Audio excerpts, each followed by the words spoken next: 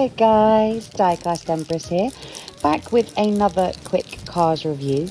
Now today we are going to be continuing on in our little saga of creating my own Flo's V8 Cafe. So what I've done here is I've just hit everything with a nice primer, sort of grade it all up to make it easier for painting, and I'm now just picking out some highlight details with silver. Then go on to my favourite part, which is the acrylic painting. Now I am going for more of a rustic look with Flo's as it is in the movie, sort of weathered by the desert. It does look a little bit sort of rustic, and as you can see, my puppy is going ballistic in the background of these shots, but nevertheless.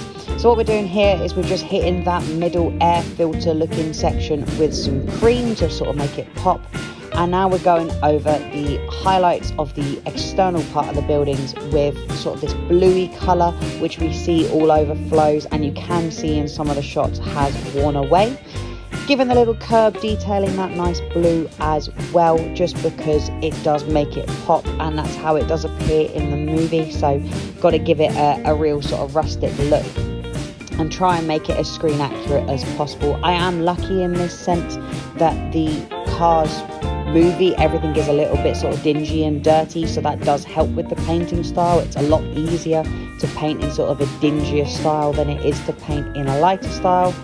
Given the Flo's Cafe, it's nice blue as well here. And then moving on to the V8 sign, making that really pop with that nice red colouring. Absolutely beautiful. Now the spark plugs here, I could have had these printed in sort of a clear plastic and then put LED lights in, but I decided not to. I decided just to make it all one colour for, for sort of ease and cheapness, and therefore I'm giving them a bit of a red and a sort of yellowy pop to them. Picking out the top of the pistons on what is the sort of the, the engine block of the V8 in that blue as well. Not really paying much attention to detail here because again that weathered look is perfect for this and obviously the pumps themselves are blue whacking that lovely lovely sort of duck egg um, light blue that I've got here this sort of aqua blue. Really really beautiful. But again really not paying much attention to any of the cracks or details because it is weathered it is Flo, so it really doesn't matter all that much. So making sure that everything sort of fits in within the world itself. Just gotta make it all blend in, which is kind of the hardest part of, of making these, is making everything blend into the world that it's from. One of my favourite parts is the decals, so I spent about an hour sort of sourcing some material that I wanted to use, using a tape measure, taping them, like working out the sizing that I wanted, just so as that they all fit in a decent way. The pumps that you see here are actually screen grabs from um, someone's photos from their time at Disney World in California, uh, where they've got the Cars land itself. Now, I decided with my pumps, instead of going with the normal ones that you see at Flo's, I decided to go for Dinoco, uh, well, two different types of Dinoco on one of the pumps. So, this is obviously the classic Dinoco logo that we know and love with the T Rex.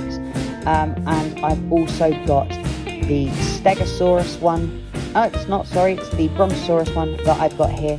Um, and that is for one of the other pumps, and that is a classic Dinoco logo. That's the one that we see in Toy Story, so I thought I'd use that one for this look. I've also got N2O Cola as a logo, and then I'm sticking that on one of the other pumps, and I'm then going to well try and line this all up so as that it all fits nicely.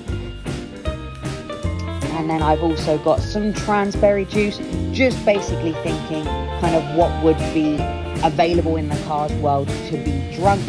Um, and obviously that's what these pumps are for, they are drinks. Now on the inside of my Flo's, obviously she is a Motorama girl, so I've decided that my Flo's is going to have a nice big Motorama girls uh, mural sort of to honour her friends um, the three girls that she sort of joined Radiator Springs with, and they obviously went on to continue their modelling career. I know this sign isn't canonically here, it is at another part of Radiator Springs on the abandoned buildings, but I kind of liked it here. Um, so making sure that that is all lined up. And I'm just adding the other two fuel pump sort of dials, if you will, for the other side of my Flo's.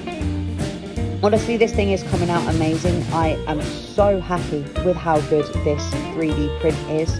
This sticker is a silly little one. This is one of the Motorama girls being sprayed by red. I just thought that was quite funny to throw in there.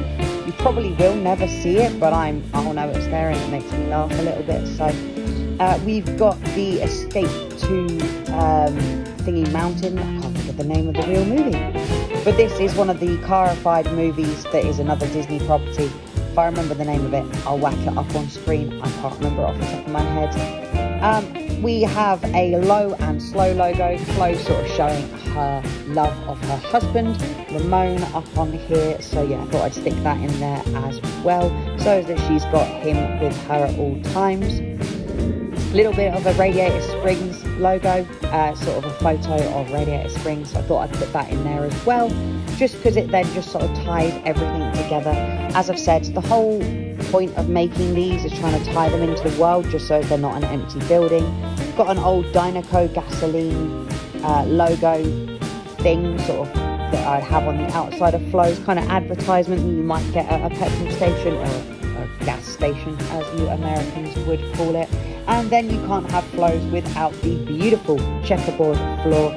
So sticking that down there I didn't cut this perfectly, but again, I'm not really that fussed. No one ever is going to see the interior of this apart from in photos, and I can just make sure that the photo isn't perfect. And it's just for me. It's not like I'm ever going to sell this thing, so it doesn't really matter if the floor isn't as perfect as it should be.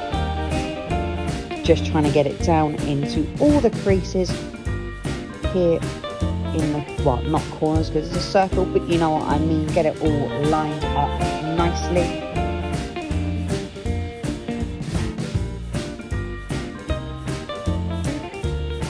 And yeah, as you can see, we're pretty much there. Just got to crease out the last little bits. Um, make sure that they aren't sort of riding up at any point. Pretty much come to the end here. It is looking beautiful in my opinion. I love adding the decals. Adding decals really does, to me, tie everything together to make sure that what you're doing just works in the world you want to make it in. And there's so much good art online for different cars decals. It's absolutely one of the easiest things to do is find some really good art to tie into your work. So if anyone's ever looking to do this type of stuff for themselves, that for me is one of the biggest things. Make sure you get that decal, that art all sorted. But as always, guys, I think I have waffled on far too much. So I will leave you all with that one and I will catch you all in the next one. Thanks, guys.